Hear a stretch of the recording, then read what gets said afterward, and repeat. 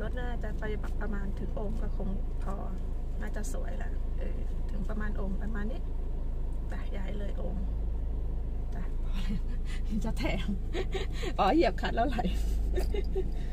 เออเนี่ย เวลาเบรกใช่ไหมคะเตือนตัวเองเบรกเบาเตือนตัวเองไว้ๆเออเบรกเบาๆคัดสุดแตะเบรกงี้พี่ต้องบอกว่าแตะเบรกพี่จะบอกว่าเหยียบเบรกนะเพนไม่รู้ว่าในใจพี่คิดว่าอะไร แต่พี่ต้องบอกว่าแตะเบรกอย่าบอกเหยียบเบรก ถ้าเหยียบเบรกมันจะเหยียบแรงค่ะ แต่ถ้าเราบอกว่าแตะเบรกมันจะแตะเบาๆ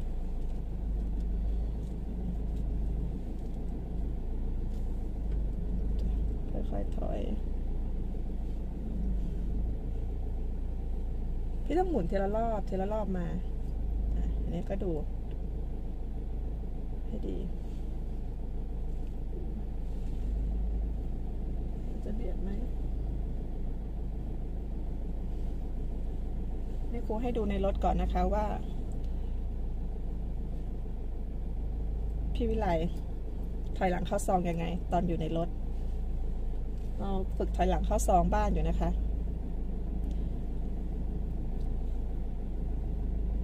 พี่วิไลมีพื้นฐานแล้วจากการดูคลิปครูแล้วขับรถเอง คันนี้เป็นเกียร์ธรรมดาด้วยนะคะ กระบะ BT Mazda BT 50นะคะมาย้ำอีกเดี๋ยวได้ คืนไหมคืนไหมถ้าเบียดก็คืนไงคืนมาคืนมา เวลาคืนดูเช็คซ้ายด้วย เช็คซ้าย นี่ไม่คืนหมดหรอก พี่อย่าเหยียบเบรกอย่างนั้น หยุดก่อนหยุดหยุด เวลาคืนมันคืนทีละรอบ ไม่ใช่คืนหมดเลย แล้วก็อย่าเหยียบเบรกไว้ แล้วก็ปล่อยคลัตช์ด้วยอะ มันคืนหน่อยเดียว เบียดไหมเบียดค่ะทางไหนเบียด เออไม่เบียดหรอกเข้ามาอีกมาถอยเข้ามาก่อนดูก่อน มันจะห่างขึ้นเรื่อยๆ หรือเปล่าใช่เออ ก็เราคืนมาบ้างแล้วไง มองซ้ายสิรถมาซ้ายแล้วไหม จ้ามาปักขวาไปพอท้ายเริ่มมาซ้ายแล้วเริ่มไม่ไปขวาละ เออ พอซ้ายพ้นแล้ว เออ พอล้อหลังเลยแล้วแหละ พี่ถ้าล้อหลังเลยแปลว่าเราเลี้ยวต่อได้แล้ว จ้า ไปหมุน หมุนอีกไหมหมุนอีกเลยช้าๆจ้านี่ดูกระจกข้างสองข้างนะคะ ก่อนหน้านี้ที่ครูยังไม่สอนเนี่ย พี่วิไลจะมองกระจกข้างแค่ข้างเดียว จอดเออตรงแล้วค่ะ จอดจะก็คือล้อตรงเบาๆใจเย็นใจเย็น พี่วิไลจะคืนอ่าเวลาถอย พี่วิไลจะมีปัญหาที่จ้างครูมานะคะ สอนถอย สอนพื้นฐานการขับใหม่ ให้มันแน่นกว่ากว่าเดิมอีกนิดนึง คือขับไปไหนมาไหนได้นะ ขับเข้าอำเภอได้ ขับไปอะได้ แต่ยังไม่เก่งไม่คล่องอันนี้อยากได้พื้นฐานก็เลยจ้างครูมาสอนพื้นฐานนะคะ แล้วก็จอดบ้านที่แน่ๆเลย คือเวลาไปเนี่ย เวลาถอยจอดนะจอดไม่ได้ จอดเข้าบ้านอันนี้ก็ไม่เป็น จอดเข้าบ้านตัวเองไม่ได้ เออจอดไว้ค่ะจ้ะกดเกียร์ว่างเบรกมือ ทีนี้ก็เลยจ้างครูมาสอน สอนพวกเรื่องการถอยเรื่องวิธีต่างๆ เพราะวิ่งได้ไปไปเดินหน้าได้ แต่เรื่องเปลี่ยนเกียร์ก็ยังไม่คล่องเรื่องการออกตัว ออกตัวแล้วก็แบบหนึ่งเกียร์หนึ่งเกียร์สองออกตัวอย่างเงี้ยไม่คล่องแต่ไปได้ เลี้ยงคัดเป็น ที่ได้นะคะ เลี้ยงคัดเป็น หมุนพวงมาลัยเป็น เปลี่ยนเกียร์เป็น แต่ทีนี้ว่าไอ้สามอย่างเนี้ยมันเป็นพื้นฐานการขับเกียร์ธรรมดา แต่ทีนี้ว่าพี่วิไลได้ทำได้ แต่ว่ายังไม่ได้เข้าใจมันอย่างลึกซึ้ง ว่าเวลาจังหวะที่เปลี่ยนเกียร์เหยียบคลัตช์อย่างเงี้ยทำไมรถถึงกระตุก อันนี้ไม่รู้ เวลาถอยจะดูยังไงทำไงรถเราถึงจะถอยหลังได้ แล้วมันก็ถอยตรงอย่างเงี้ย ไม่รู้งง งงเรื่องการถอยว่าจะดูอะไร มองกระจกข้างไม่เป็นกะ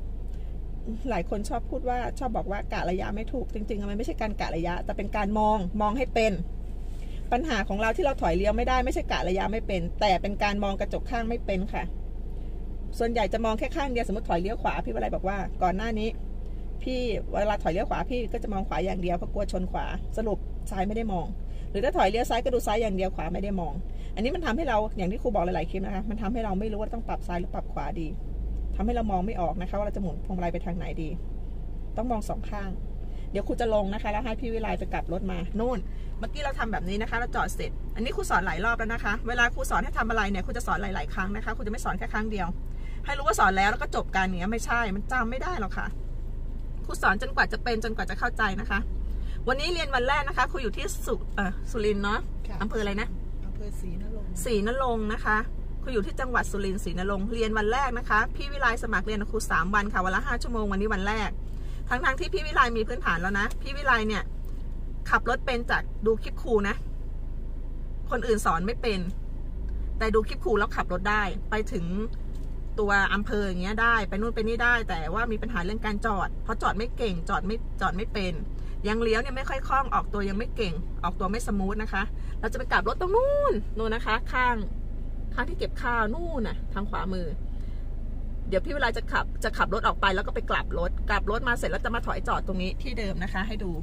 เดี๋ยวคุณจะลงไปอยู่ข้างล่าง แล้วดูภายนอกกันว่าพี่เขาถอยยังไง ควรจะอธิบายไปด้วยนะคะ เมื่อกี้นี้ดูในรถแล้วว่า อ๋อ มองซ้ายมองขวา ปรับซ้ายปรับขวาอะไรยังไง แต่เอาจริงๆนะ ดูคลิปมันก็ไม่เหมือนกับครูมาสอนเอง เพราะดูคลิปก็รู้อะแต่มันไม่เข้าใจหรอก แค่ดูว่ารู้ว่าอ๋อเขามองอันนี้มองอันนี้ แต่พอเรามาทำเองเราก็จะงง ทางที่ดีอะครูมาสอนพี่วิไลอะขับรถมาตั้งนานแล้วนะหัดเองอะมานานแล้วก็พอไปได้ แต่เนี้ยจ้างครูมาสอนเนี่ยเป็นเพราะว่า ดูคลิปเหมือนจะเหมือนจะรู้ว่ามันก็เข้าใจนั่นแหละ แต่เวลาทำมันใช่ไหมคะค่ะเวลาทำเราไม่ทำมันไม่ได้ทำได้เหมือนที่มันไม่ได้ทำได้เหมือนในคลิปค่ะอืมใช่ เพราะรายละเอียดมันเยอะนะคะค่ะเออ รายละเอียดมันเยอะจุดตรงไหนที่เราบกพร่องไป หรือจุดตรงไหนที่เราไม่รู้เราไม่เป็น ถ้ามีครูมานั่งบอกข้ามมันจะเข้าใจได้ง่ายกว่าใช่ไหมพี่ขับรถมาตั้งนานพี่ยังไม่รู้เท่าที่เพนสอนมาหนึ่งชั่วโมงสองชั่วโมงสามชั่วโมงเพนสอนพี่มาครบสามชั่วโมงแล้ว พี่เรียนมาตั้งหลายเป็นปีแล้วนะหัดมา หัดมาระยะเวลานะคะ เป็นปีแต่พี่ก็ไม่ได้ขับทุกวันนะ พี่แกไม่ค่อยได้อยู่บ้านนะคะ นานๆกลับบ้านทีแต่พอสามเดือนจะขับอยู่ เออ สองวันสามวันเออเนี่ยสามเดือนนะคะ ถึงจะกลับมาทีนึงกลับมาบ้านก็สองสามวัน ถึงจะมาขับรถนะคะ แล้วเนี่ยพี่พี่ก็จะเป็นขับรถไปไหนมาไหนได้เมื่อกี้ครูพาออกถนนไปแล้วนะคะ ออกถนนพี่เขาขับให้คุณนั่งได้ แต่ก็ไม่ไม่ไม่สมูทยังไม่สมูทยังไม่เท่าไหร่ ทีนี้เนี่ย พี่ก็ขับเป็นมาตั้งนานขับขับได้มาตั้งนานแล้ว ยังรู้ไม่เท่ากับที่ครูสอนไปสามชั่วโมงเลยครูสอนสอนไปสามชั่วโมงนี่รู้เยอะกว่าที่เราหัดมาเองเพ ราะฉะนั้นเกิดว่าใครอยากรู้ไวๆนะคะ อยากรู้ไวๆอยากเป็นไวๆอยากมีพื้นฐานแน่นๆตั้งแต่แรกอะอันนั้นจะดีนะคะ ก็คือจ้างครูไปสอนจะดีที่สุด เพราะว่าพี่แกดีนะ ดูคลิปครูแล้วเป็นเนี่ย ก็คือจะไม่เคยชน พี่วิไลบอกว่าไม่เคยชนเลย ไม่เคย อืม แต่คนแต่ถ้าไปเรียนกับคนอื่น แล้วไปหัดเองเนี่ยชนนะ แต่อันนี้คือเรียนพื้นฐานจากครูดูคลิปครูทุกอย่างเลย แล้วขับได้ โอเค เดี๋ยวเราไปดูข้างล่างกันนะคะ ว่าพี่วิไลจะทำยังไง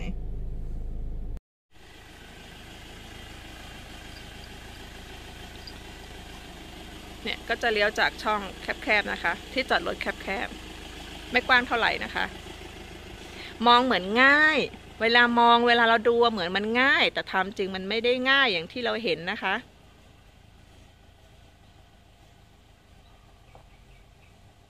มีหลายคนถามครูมาครูไม่รู้ตอบยังไงอะ่ะครูสอนถอยออกหน่อยครูก็ถามว่าถอยออกจากอะไรอะ่ะ ถอยออกจากซอง ถอยออกจากบ้านหรือถอยจากอะไรมันคนละแบบกันแล้วจะให้ครูบอกครูไม่รู้จะบอกยังไงจริงๆนะครูไม่ได้ห่วงวิชานะคะ แต่ครูไม่รู้จะบอกยังไงจริง ๆ เพราะว่าครูก็ไม่รู้ขนาดของซอง ไม่รู้สถานที่ไม่เห็นภาพเลยอะ่ะ ไม่เห็นภาพแค่พิมพ์เป็นตัวหนังสือมาถามครูครูก็ไม่รู้ว่า ไม่รู้ว่าจะตอบยังไงนะคะ ครูก็สอนให้เดินหน้าไปนะคะแล้วถอยหลังเลี้ยวนี่รอบแรกอะถอยเลี้ยวไปเบียดไอเนี่ยไอหลังคาไอไอบ้านที่มีหลังคาเนี่ยเห็นไหมคะมีไม้น่ะอยู่ข้างทางหญ้าสีเขียวๆต้นต้นมะกอกเลี้ยวเบียดอยู่เลยอะแต่ครั้งเดียวเบียดครั้งเดียวแล้วก็ไม่เบียดละขับได้ก็ขับเป็นมันไม่เหมือนกันนะ ถ้าขับได้คือทำให้มันวิ่งได้ แต่เราไม่สามารถเข้าใจมัน เราไม่สามารถควบคุมมันได้ดีอะ ก็แค่ขับได้ แต่ขับเป็นน่ะมันจะปลอดภัยเราจะมั่นใจเราจะไปได้ทุกที่เลย พี่วิไลบอกว่าครูถามว่านี่พี่วิไลเรียนเนี่ยหมื่นสองนะคะ เพนถามครูเพนถามพี่วิไลว่า พี่วิไลทำไมพี่วิไลจ้างครูมา จ้างครูมาตั้งเยอะเนี่ย ค่าเรียนตั้งหมื่นสองอยู่สุรินทร์นะคะ ไกลนะครูขับรถตั้งสี่ห้าชั่วโมงกว่าจะถึงนะคะ จากมุกดาหารมาก็เลยค่าเรียนก็เลยแพงนะคะครูถามว่าจ้างครูมาเนี่ย ไม่กลัวหรอว่าครูมาสอนแล้วจะไม่ได้อะไรเขาบอกไม่กลัวค่ะ แล้วครูถามว่าทำไมถึงจ้างครูมา ก็อยากเป็นพี่วิไลบอกว่าอยากเป็นอยากมีความมั่นใจมากกว่านี้ขับมาตั้งนานแล้วไม่มั่นใจเลย ไม่รู้ว่าตัวเองทำผิดหรือทำถูก ไม่รู้ที่ตัวเองทำมันใช่หรือมันไม่ใช่ ก็รู้ว่ามันไปได้ละค่ะ แต่แต่ที่แน่ๆเลยเราไปไม่ค่อยเป็น อย่างเวลาเลี้ยวเนี่ยเลี้ยวซ้ายพี่เวลาจะเลี้ยวเบียดเบียดหน่อยนะแต่เลี้ยวขวาได้เลี้ยวซ้ายวงเลี้ยวมันแคบไงการที่พี่เขาหัดเองก็เลยแบบไม่แม่นไม่เป๊ะ ไปกลับรถนะคะ เพราะถ้าวิ่งเข้ามาเลยเนี่ยเอาหน้าเข้ามันง่ายนะคะ เอาหน้าเข้าช่องจอดจอดตรงนั้นนะง่าย แต่ถอยอะพี่วิไลถอยไม่ได้ ถอยเลี้ยวเข้าเข้าจอดตรงเมื่อกี้นี้ไม่ได้ เริ่มถอยเห็นไหมคะ ก็จะเริ่มหมุนเริ่มเลี้ยวเลยนะคะ ต้องตีโค้งออกมาเลย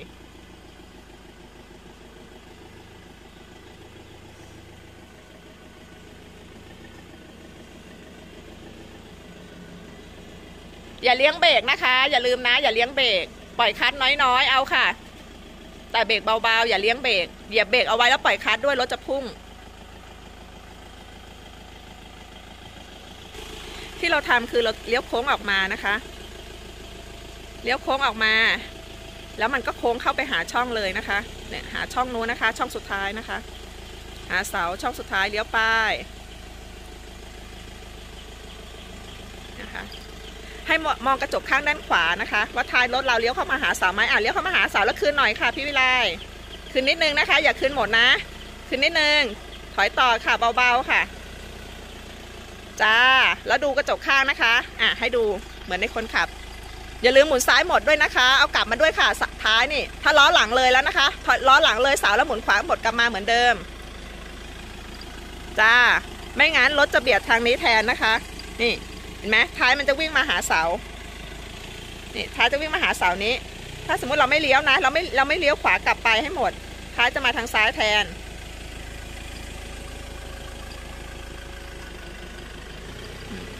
รถขนานนะคะ ให้ขนานสวยๆก่อน แล้วค่อยจอดนะคะอ่าขนานสวยๆแล้วจอด จอด อย่าให้เอียงนะคะ เอียงแล้วมันไม่สวยเออคือล้อตรง ที่พี่วิไลได้ก่อนหน้าที่ครูจะมาสอนนะคะ ก็คือคือล้อเป็นนะ ดูคลิปครูนะคะ คือล้อเป็นไม่เคยงงล้อนะ ว่าคือล้อกี่รอบใส่เกียร์เป็นนะคะหนึ่งถึงสี่ถึงห้าถึงหกใส่ได้นะ เลี้ยงคัดเป็นด้วย แต่รายละเอียดไงคะทักษะไม่ได้ มันได้แค่วิธีการใช้ เพราะว่าดูคลิปของครูก็เลยไม่ได้ทักษะนะคะ ได้แค่วิธีค่ะได้แค่วิธีการอะวิธีการใส่เกียร์วิธีการหมุนพวงมาลัยเนี่ยได้ แต่ทักษะไม่ได้ ทักษะหมายถึงเช่น อย่างเวลาถอยแล้วควรดูอะไร ใส่เกียร์ถอยเป็นหมุนซ้ายหมุนขวาเป็นรู้ด้วยนะว่า ถ้าถอยมาขวานะหมุนขวา รู้ว่าถอยไปซ้ายหมุนซ้าย แล้วก็รู้ว่าถ้าตรงอะต้องคืนล้อกี่รอบ ไม่งงเพราะดูคลิปครูมา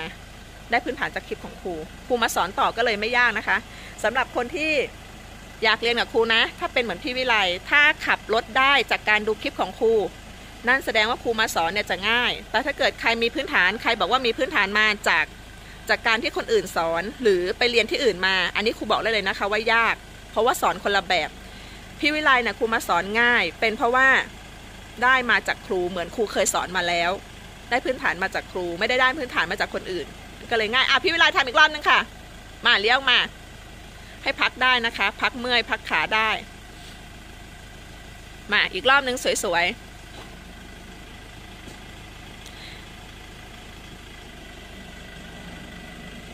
อย่าเลี้ยงเบรกพี่ไหมมันจะพุ่งจ้าเวลาที่พี่เหยียบคัสสุดอะพี่จะไปนะคะ พี่ปล่อยเบรกก่อนได้เลย ปล่อยเบรกก่อนขยับเบรกเบาๆ แล้วค่อยปล่อยคัสตามช้าๆนะคะ เบรกมันจะไหม้นะพี่ เบรกจะไหม้คัสจะไหม้ค่ะพี่วิไลนี่อายุอายุเยอะแล้วนะ ขับกระบะได้อะ เก่งมาก สามีสอนให้ไม่ได้นะคะ สามีพี่วิไลสอนไปกันไม่ได้ ครั้งสองครั้งเขาก็ไม่สอนแล้วอะ่ะเขาไม่สอนพี่วิไลเลย อยากเป็นทำไงขับเองเลยขึ้นไปหัดขับแอบขับนะคะ ดื้อเหมือนครูอะ่ะครูก็ขโมยรถคนอื่นเขาขับเหมือนกันนะคะ คือไม่ใช่รถครูอะแต่เนี้ยคือรถของเขาแต่ครูเนี่ยไปขโมยรถคนอื่นขับเพราะครูอะไม่มีคนสอนครูไม่เคยเรียกร้องให้ใครมาสอนครูด้วยนะ เพราะครูว่าใครคงสอนครูไม่ได้ ครูก็หัดเอง แต่ก็ไม่มีรถตัวเองทำไงก็ไปขโมยรถคนอื่น แต่พี่วิไลนี่ค่อนข้างก็เออโอเคเขาไม่สอนเราใช่ไหมหัดเองก็ได้ว่าอะไรประมาณนั้น หัดเองก็ได้ ไปเองก็ได้ ระวังเบียดซ้ายพี่คืนมาหน่อยพี่ คืนมาพี่เลี้ยวเยอะเกินไป พี่จอด พี่วิไลรถพี่นะดูขวาไปเยอะแยะ เป็นเพราะอะไรรู้ไหมตอนที่พี่ก่อนที่พี่จะถอยมาพี่หมุนซ้ายหมดไปแล้ว พี่ไม่ได้ค่อย ๆ ถอยมานะ รถเบียดซ้ายน่ะ คืนมา หรือไม่ก็เดินหน้าไปเร็วเดินหน้าไปแล้วถอยหลังใหม่ เอาดีๆ พี่เลี้ยวไวเกินไป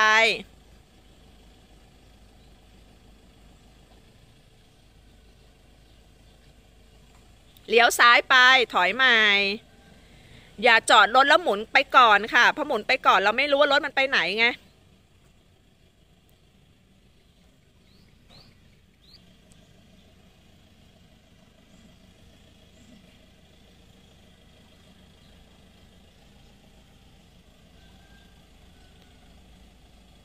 อย่าให้เบียดนะ ถ้าเบียดซ้ายเราเลี้ยวซ้ายเบียดซ้ายก็คืนขวามาก่อน เพราะขวามันห่าง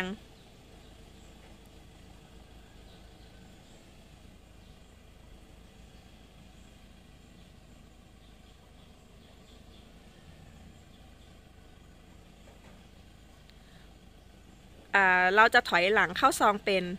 ถ้าเราถอยเลี้ยวเป็นนะ ฟังครูนะคะ ฝึกถอยเลี้ยวแบบที่พี่วิไลกำลังทำอยู่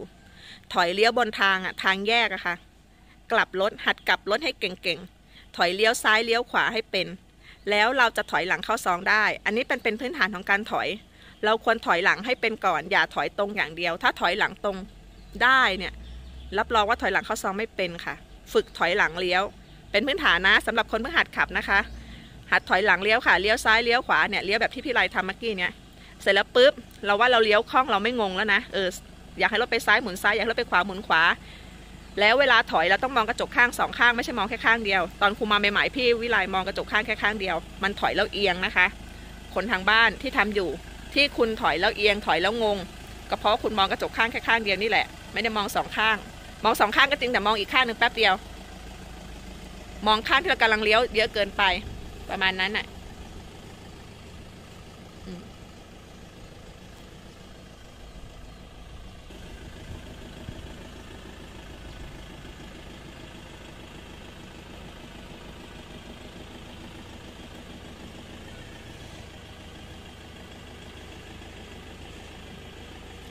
วันนี้วันแรกนะคะ มีพื้นฐานแล้วขับบนถนนได้ครูก็เลยสอนถอยหลังเข้าซองให้เลยนะคะ เพราะว่าไอ้ขับบนถนนได้เนี่ยเดี๋ยวครูค่อยไปปรับ ไปปรับให้พื้นฐานแน่นกว่านั้นไม่ยาก ปรับพื้นฐานนี่ไม่ยากนะคะพรุ่งนี้ก็จะเริ่มสอนออกถนนใหม่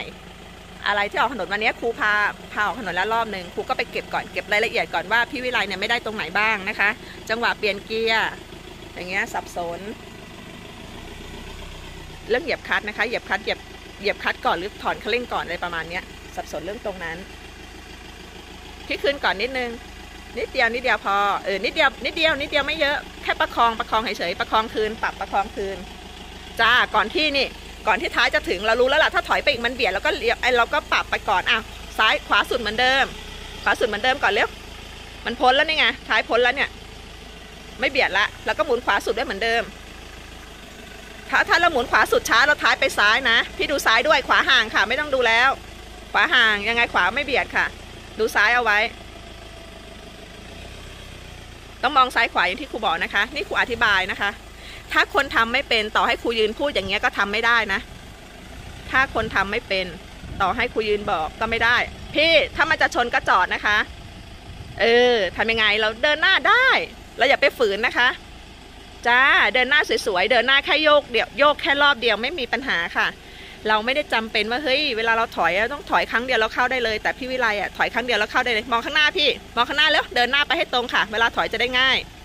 อย่าลืมนะคะ เดินหน้ามองข้างหน้าไม่ใช่ว่าเดินหน้าออกมาอย่างนี้แล้วยังมองข้างหลังอยู่เลย พี่ ถ้าพี่เดินหน้าแล้วไปจอดให้มันตรงๆพี่จะถอยง่าย พี่เชื่อครูดิพี่เดินหน้าไปมองเดินหน้าออกไปให้มันดีๆค่ะ ให้มันสวยๆงามๆก่อน พี่มองข้างหน้าให้มันตรงๆดีๆ เออ วิ่งออกมาให้ตรงอะค่ะ หมายถึงวิ่งออกมาให้ตรง เสร็จแล้วพี่ถอยหลังกลับไปใหม่มันจะง่าย อย่าไปเดินหน้าแล้วมองข้างหลังค่ะ เดินหน้าก็ส่วนเดินหน้าค่ะ ถอยหลังเดี๋ยวเราก็มองใหม่ เออมองกระจกข้างไปนะคะ นี่แล้วก็ปรับ มองกระจกข้างซ้ายขวาค่ะ แล้วก็ปรับ รถเอียงซ้ายเอียงขวาปรับเอานะคะนี่ก็มองกระจกข้างค่ะ มองนี่เช็ค ในกระจกก็จะเห็นแบบแบบที่ครูทำนี่แหละ แบบที่ครูเห็นเนี่ย เอ้ยแบบที่เห็นในในกล้องครูนะคะ นี่ มันย้อนแสงหน่อยนะคะ แสงมันเข้าอะไรมองไม่ค่อยเห็นนี่ มองซ้าย นี่ มองขวา ปรับขวามาค่ะ รถเอียงซ้ายไงพี่ ปรับขวามาแล้วรถเอียงนี่ไม่สวยมันไม่สวยมันไม่งาม เอาเป๊ะๆเนี่ยเอาลำตัวด้านข้างขนานขนานเสร็จแล้วคืนตรงเออคืนตรงแล้วถอยลงไปสวยๆนี่ถ้าคนทำไม่ได้ต่อให้ครูพูดอย่างนี้ก็ทำไม่ได้นะคะครูค่อย ๆ บอกก็ทำไม่ได้ แต่ถ้าเกิดคนทำได้เนี่ยครูพูดนิดเดียวเขาก็เข้าใจแล้ว พอเข้าใจนี่แสดงว่าทำเป็นนะแค่ครูแนะนำเองครูแนะนำอะแนะนำแล้วอย่างเช่นครูบอกให้คืนหน่อยใช่ไหม ไอ้คำว่าคืนหน่อยเนี่ยคืนแค่ไหน ถ้าเขาทำไม่เป็นเขาก็คืนไปเยอะๆเลยไงก็ไม่ใช่คืนหน่อย ส่วนปรับซ้ายปรับขวาครูบอกว่านี่รถมันเอียงรถมันเอียงซ้าย ปรับซ้ายหน่อย ไอ้คำว่าปรับซ้ายหน่อยเนี่ยถ้าปรับไม่เป็น มันก็ไม่ใช่หน่อยไงมันก็หมุนไปเยอะหรือไม่ก็หมุนนิดเดียวไม่พอ อันเนี้ยครูแนะนำนิดเดียวแล้วพี่วิไลทำได้แปลว่า แปลว่าทำเป็นนะคะอ่านไหนลองดูซิว่าจอดเสร็จสวยไหมนี่ ด้านขวา ดูผลงานก่อนนะคะ ด้านซ้าย แล้วรถนะคะนี่อยู่ในช่องมันมันไม่ได้กว้างหรอกค่ะ เอาเข้าจริงเพราะรถคันมันใหญ่ มันแค่มีพื้นที่ข้างเหลือหน่อยนึงก็ดีแล้ว ถ้าแคบกว่านี้ก็เข้ายากกว่านี้นะคะลงจอดรถพอดีกับรถ ก็จะประมาณนี้ค่ะ วิธีเข้านะคะ วิธีถอยเข้านะถอยเข้าเดินหน้าออก แล้วถ้าเกิดเอาหน้าเข้าแล้วถอยออกมันก็ง่ายนะคะ เดี๋ยวครูจะให้ดูเอาหน้าเข้าแล้วถอยออกแล้วกัน นี่เวลาจะออกจากช่องนะคะ ตัวเราเห็นไหมคะพอตัวเองอะเลยเสาไปแล้วค่อยๆเลี้ยวออกได้เลยนะคะรถจะไม่เบียดไม่เบียดขวานะคะ สมมตินี่เลี้ยวขวาออกเนาะดูตัวเอง ถ้าเลี้ยวซ้ายออกก็ตัวเราเนี่ยนี่เนี่ยเสาเนี้ยเสาสุดท้ายเนี่ยถ้าตัวเราเลยเสาไปแล้วก็เลี้ยวเลยเลี้ยวค่อย ๆ เลี้ยวไปเลย ไม่ใช่เลี้ยวหมดเลยนะคะ ฟังให้ดีๆ ค่อยๆเลี้ยวไป ค่อยๆเลี้ยวไปเลี้ยวได้รถจะไม่เบียด เพราะตัวเราเลยแล้ว เอาตัวเราวัดนะคะ เลี้ยวมากเลี้ยวน้อยขึ้นอยู่กับสถานที่นะ กลับรถเนี่ยให้ไปกลับรถมานะคะอะบอกกันอีกครั้งหนึ่งนะคะ เรื่องการสอนนะคะ เรื่องค่าสอนค่ะ หลายคนมาถามครูค่าสอนขึ้นอยู่กับระยะทาง เวลาโทรมาหาครูบอกครูเลยครูคะหนูอยู่ตรงนั้นตรงนี้ค่ะ ค่าสอนเท่าไหร่คะอย่าถามครูว่าครูอยู่ที่ไหน เพราะมันไม่สำคัญหรอกว่าครูอยู่ที่ไหน แต่ให้ถามครูว่าครูคะหนูอยู่ตรงเนี้ยอย่างเช่น หนูอยู่นครปฐมค่ะองค์พระหนูอยู่นครปฐมค่ะกำแพงแสนอะไรประมาณนี้บอกจุดพิกัดมาเลยนะคะ ว่าหนูอยู่ตรงเนี้ยสอนไหมครู อันดับแรกนะถามครูก่อนว่าสอนไหมถ้าเกิดครูบอกว่าโอเคสอน ถามครูมาเลยว่าอยู่ตรงนั้นอะรับไหมเออแล้วก็มาถามราคาก็มาคุยเรื่องคุยเรื่องราคากันนะคะ ว่าพิกัดมันไกลจากที่บ้านจากที่ครูอยู่แค่ไหนเอออยู่ที่ระยะทางนะคะ ว่าใกล้ไกลแค่ไหนแต่ ถามว่าถ้าเกิดว่าอยู่แถวกรุงเทพนะคะ อยู่แถวปทุมครูวัดจากคลองสิบสามแต่ถ้าเกิดอยู่แถวนครปฐมเนี่ยครูวัดจากอำเภอดำเนินเพราะบ้านครูอยู่ดำเนินครูจะวัดจุดที่ครูพักนะคะ ว่าไกลจากที่ครูพักกันแค่ไหน แต่ถ้าเกิดอยู่แถวปทุมอ่างทองอยุธยาครูพักอยู่ที่คลองสิบสามนะคะ ตรงปทุมที่ปทุม แต่อยู่ไปทางหนองแคนู่นนะคะครูก็จะวัดระยะทางว่า ถ้าเกิดให้ครูไปเนี่ยไกลแค่ไหน แต่ถ้าเกิดเป็นเขตภาคอีสานครูวัดจากมุกดาหารไปนะคะ อะบอกอีกทีหนึ่งเลี้ยวขวาไปจ้ะเลี้ยวขวา บอกอีกทีหนึ่งครูเปิดสอนอยู่ที่มุกดาหาร แล้วก็รับสอนนอกสถานที่นะคะ ค่าเรียนขึ้นอยู่กับระยะทางค่ะว่าให้ครูไปสอนไกลแค่ไหน พี่ อย่าเลี้ยงเบรกนะคะ เลี้ยงคลัตช์เบาๆ อย่าเลี้ยงเบรกเลี้ยงคลัตช์เบาๆ เดี๋ยวเบรกกับคลัตช์มันจะไหม้มาหน้ารถมา ถึงช่องนะคะนี่ถึงช่อง เห็นไหมคะครูจะให้ดูชัดๆนี่เวลาเราเลี้ยวเข้ามานะคะนี่หัวรถถึงช่องนี่วิ่งมาถึงช่องแล้วให้เลี้ยวเลี้ยวซ้ายเข้ามานะคะ ซ้ายของคนขับนะ ไม่ใช่ซ้ายในกล้องเห็นไหมคะตีวงเลี้ยวเข้ามาค่ะ หัวรถถึงช่องถึงทาง ถึงอะไรก็ช่าง ถึงถนนก็เลี้ยวค่ะ ถึงช่องก็เลี้ยว เราไม่คิดว่ามันเป็นเป็นช่องก็ได้นะ เราคิดว่ามันเป็นเป็นทางเป็นถนน มองข้างในลึกๆนะคะ มองเข้าไปข้างในอย่ามองเสาถ้ามองเสารถวิ่งหาเสา แล้วก็เลี้ยงคัดไว้นะคะนี่พอหัวรถถึงช่องแล้วเริ่มถึงช่องเราก็เริ่มปรับประคองไปเรื่อยๆนะคะ จะปรับซ้ายปรับขวาปรับเอานะคะจะมีล้อนะลองมองแนวล้อด้วยนะคะ ว่าพี่เขาก็ปรับไปเรื่อยๆ ปรับซ้ายนิดนึงขวานิดนึงปรับประคองมา เอาหน้าเข้าจะง่ายนะคะ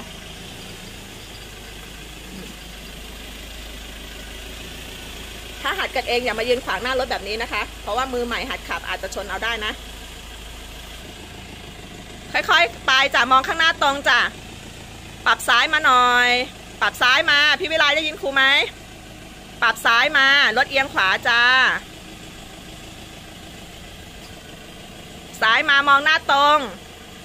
มองหน้าตรง เข้าไปอีกจ้า เข้าไปอีกสวยๆ โอเคจอด จอดเสร็จคืนล้อ อืม เออ ดับเครื่องลงมาก่อนนะคะ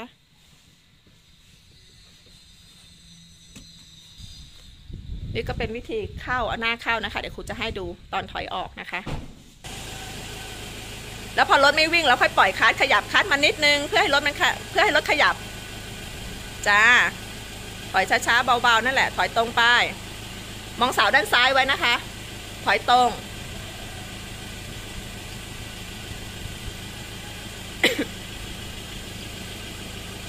ถอยไปแล้วมันมีข้างหลังมันแคบนะคะนี่แต่ด้านซ้ายยังมีที่นิดนึงช้าๆหยุดก่อนหยุด หัวรถถึงเสาไง หมุนขวาเร็วอย่าให้เลยเสาดิเดี๋ยวข้างหลังมันไม่มีที่ขวาไม่ใช่ซ้าย ขวาขวาครูต้องการให้ท้ายไปทางขวา เออแล้วจะถอยเลี้ยวเลี้ยวซ้ายออกมาต้องไปขวาก่อนเอาท้ายไปขวาก่อนนิดนึงเนี่ย หัวรถมันตรงกับเสานะหมุนไปเลย ไม่มีเบียดแล้วค่ะ เออ แล้วหมุนขวาไปเยอะๆพี่ ให้ท้ายเอียงไปทางขวาเยอะๆ อย่าใช้พื้นที่เปลือง หมายถึงอย่าถอยไปเยอะอะ ถอยไปเยอะมันก็ชนไงข้างหลัง ถอยมา ได้อีกไหม มองกระจกขวา สายห่างไม่มีอะไร หัวรถไม่เกี่ยวนี่ ท้ายห่างตั้งเยอะมา ถอยเลี้ยวขวามา นิดนึง เออ มองกระจกหลังด้วย ขวาห่างมองกระจกหลังซิชนไอ้คูโบต้าหรือยัง กระจกหลัง จกข้างบนน่ะ ได้ยัง ถอยอีกนิดนึง มา มันยังไม่ชนหรอก เออพอนั่นแหละ เห็นไหมข้างหน้านี่จะได้มีพื้นที่กว้างๆ เนี่ย จะได้เลี้ยวง่ายๆ ใส่เกียร์หนึ่งใส่เกียร์หนึ่งหมุนซ้ายไปมีเท่าไหร่ หมุนไปให้หมด ในที่แคบ ถ้าเราอยากให้ไปทางไหนหมุนไปเลยเยอะๆ ถ้ามันเป็นพื้นที่แคบ อย่าให้รถไหลห้ามรถไหลหมุนซ้ายให้หมดก่อน ถ้ารถไหลถอยหลัง ให้ปล่อยคลัดก่อนเบาๆ แล้วปล่อยเบรกตาม อย่าเหยียบเบรกลึกค่ะ เบรกเบาๆ เบรกเบาๆ ปล่อย เวลาเหยียบเบรกอะเหยียบเบรกเบาๆ เออ มันจะได้ไม่กระชากออกไปค่ะ ไปเลี้ยวไป อย่าปล่อยคลัดเยอะค่ะใจเย็นๆ จ้า ก็ถ้าเราไม่ถอยแล้วเลี้ยวขวาเมื่อกี้เนี้ย ไปเลี้ยวไปข้างองค์เลี้ยวไปข้างองค์ไปเลี้ยวข้างองค์ไปแล้วถอยเลี้ยวกลับมา อันนี้คือถอยออกนะคะ เลี้ยวขวาไป มีคนถามครูว่าถอยออกยังไง เอาถอยออกก็ถอยออกมาตรงๆค่ะ ถึงทางก็เลี้ยวออกไป จะเลี้ยวซ้ายเลี้ยวขวาก็มองกระจกข้างเอานะคะแล้วเลี้ยวไป ถอยออกมันง่าย ถอยออกจากที่แคบนะคะ เพราะว่าถอยไปที่กว้างไงนึกออกไหมที่ครูบอกว่ามันง่ายเป็นเพราะว่าเราถอยจากที่แคบไปที่กว้าง มันก็ง่าย ไอ้ถอยเข้าอะสิง่าย เออเอาพอแล้วจ้าถึงโอ่งไงเอาถึงโอ่งก็พอค่ะ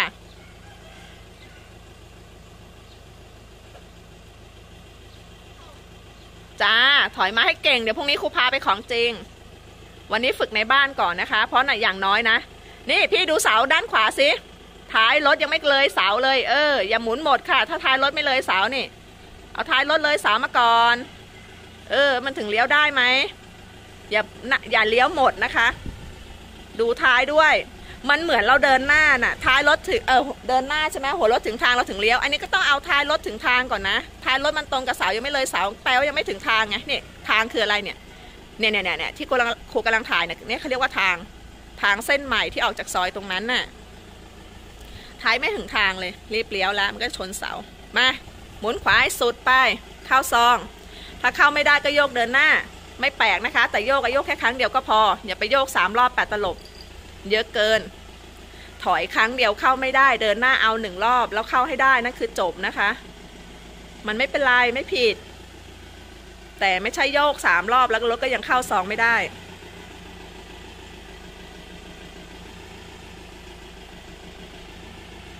มองกระจกข้างซ้ายขวาห้ามเผลอมองข้างหน้านะคะ มองซิกระจกซ้าย ขวาห่างแล้วเนี่ยเนี่ยขวาห่างดูซิว่าท้ายมันไปทางซ้าย ชนไหมเข้าได้หรือเปล่า เข้าไม่ได้ให้เดินหน้า ถ้าเข้าได้ก็เข้ามา อย่าฝืนนะคะ เห็นว่าเบียดคือเบียดครูสอนว่าถ้าเห็นว่าเหมือนจะเบียดคือเบียดค่ะ ไม่ต้องไปคิดว่าเออเผื่อได้ไม่เอาเผื่อนะคะ ตามที่เห็น ไม่ต้องกะระยะค่ะ ใช้เห็นเอาเอาที่เราดูอะดูว่ามันจะเบียดคือเบียด ดูว่ามันได้เราเห็นว่ามันได้คือได้ค่ะ ต้องมั่นใจ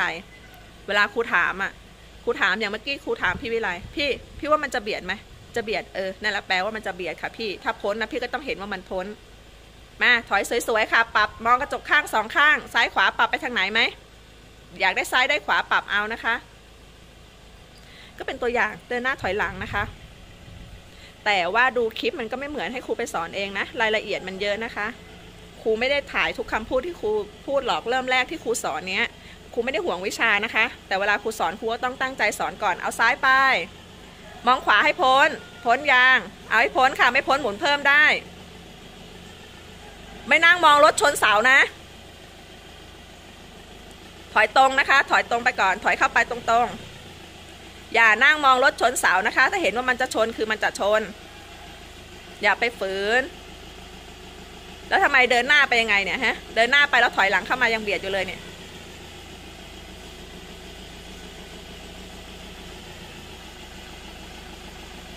อืมมาหมุนขวามา ตอนที่พี่เดินหน้าเวลาพี่ถอยพี่ต้องเลือกเลยว่าพี่จะไปซ้ายหรือไปขวา เพราะยิ่งถอยพื้นที่ก็ยิ่งน้อยลง จอดสวยๆนะคะ เข้าได้แล้วพี่รอตรงก่อนสิอย่ารีบไปคืนอย่าให้รถกระเด้งหน้ากระเด้งหลังครูห้ามให้รถไหลด้วยนะคะ จอดก็คือหยุดสนิทค่ะ ปรับมาขวาหน่อยเร็วรถเอียง ปรับขวา ปรับมา มันชิดมันห่างไปทางไหนมากกว่ากันก็ช่างมัน แต่อย่างน้อยต้องขนานนะคะ มันจะชิดขวามากกว่าชิดซ้ายก็ไม่เป็นไร แต่รถต้องจอดตรงขนาน เออพ่อตัวอย่างนะคะ ตัวอย่างว่าครูมาสอนแล้วครูสอนอะไรบ้างวันแรก อันนี้มีพื้นฐานแล้วจากคลิปของครูนะ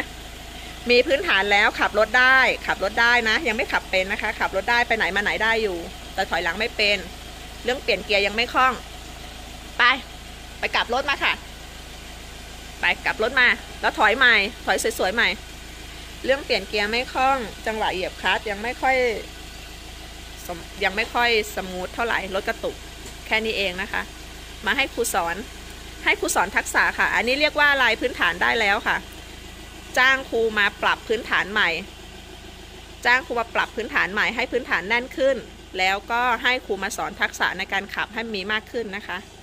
ของในเคสพี่วิไลนะ แต่ส่วนใหญ่เนี่ยจะไม่มีไม่มีพื้นฐานเลยก็ดีอยู่แล้วนะคะสำหรับคนที่จะเรียนกับครูนะ แล้ว ตัวเองไม่รู้อะไรเลยอะมันดีอยู่แล้วนะคะ ไม่ต้องอยากรู้นะ อย่าไปหัดเองแล้วค่อยแบบว่า อุ้ยหัดเองก่อนให้มีพื้นฐานก่อนแล้วค่อยจ้างครูมาสอนจะได้ง่ายๆ นั่นเป็นวิธีคิดที่ผิดนะ ไม่รู้อะไรเลยก็ดีอยู่แล้วค่ะ ครูไปสอนจะได้ง่าย เพราะไปหัดเองเนี่ย ถ้าสมมติว่าหัดเองแล้วไปชน